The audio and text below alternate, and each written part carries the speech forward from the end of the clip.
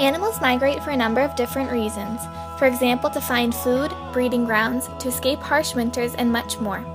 For years, it was a mystery as to how they did this. Originally, scientists thought that animals took cues from the environment to migrate, such as the sun, the moon, the stars, etc. Discoveries It wasn't until 1957 when Hans Fromm, a German scientist, had pet birds in a cage in his house. He noticed that in the fall they started crowding around the southwest side of their cage. German birds migrate southwest to Spain in the wintertime. Hans Fromm noticed that his birds were not exposed to any stars, moon, sun, etc., so he decided that what makes birds migrate must come from within them. It wasn't until in studying fish, similar to my pet fish here, that scientists found magnetite in their olfactory systems. Where scientists thought that fish migrated because of their good sense of smell, they're actually using the Earth's magnetic field all along.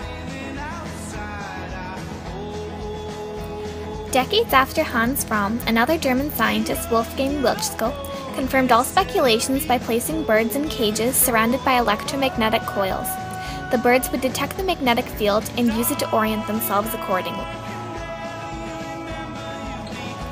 This research is very, very new and not even close to being completed. It is a race among scientists all over the world to pinpoint the who, what, where, and why of this phenomenon.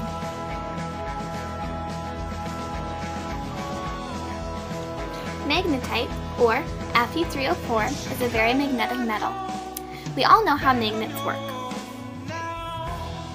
All magnets have a south pole, and all magnets have a north pole and opposites attract. So the South Pole attracts the North Pole, and the North Pole attracts the South Pole. All magnets also have a magnetic field. A magnetic field is the area surrounding a magnet where the magnetic charge is present. Let's use this magnet for example. Let's say that this is this magnet's magnetic field, meaning that all of the area within the field is where the magnet, magnetic, magnetic charge is active. Let's use this magnet to demonstrate. If we put it close to the magnetic field but not in it, it's not affected. Whereas if we put it in the magnetic field, it'll be pulled towards the magnet. This concept is used in migration because there are giant pieces of iron ore randomly embedded in the earth. These pieces of iron ore have giant magnetic fields. The little animals have tiny pieces of magnetite embedded in them, that is either attracted or repelled from the giant piece of iron ore. The magnetite then either moves towards or away from the iron ore, causing the animal to try to move with it, which causes them to migrate.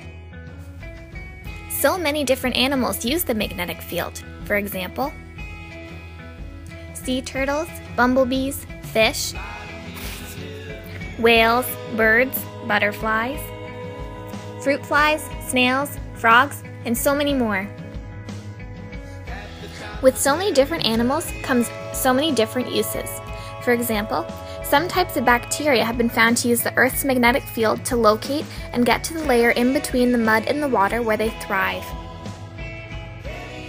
Humans and the magnetic field. Like everything it seems, humans have managed to ruin the magnetic field. Some studies have found the background electromagnetic sound that humans make is confusing to animals that use the magnetic field to migrate making them not know which way they're supposed to go. On the bright side, though, there's also been research against these findings. It's just an example of how new and ongoing this work really is. Now you know! This research is so new and still ongoing. It is important that young scientists like you learn as much as you can about new research. Science is constantly evolving, and there is more out there to learn than there ever has been. Guiding Star Inc. would like to thank you for your time and we hope that you learned lots and had as much fun watching the video as we did making it.